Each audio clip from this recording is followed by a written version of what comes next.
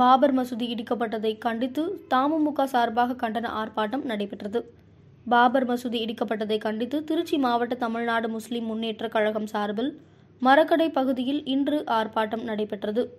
கிழக்கு மாவட்ட தலைவர் முகமது ராஜா தலைமையில் நடைபெற்ற இந்த ஆர்ப்பாட்டத்தில் தமுமுக தலைமை பிரதிநிதி கோவை சாதிக் அலி பேச்சாளர் நாஞ்சில் சம்பத் உட்பட பல்வேறு கட்சிகளைச் சேர்ந்தவர்கள் கலந்து கொண்டு கண்டன உரையாற்றினர்.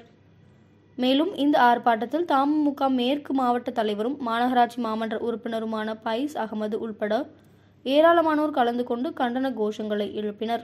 தண்ணீரை மறுதளித்துவிட்டு தாகத்திற்கு விடை காண முடியாது. மின்சாரத்தை புறந்தள்ளிவிட்டு புத்தலுக்கு சமைக்க முடியாது.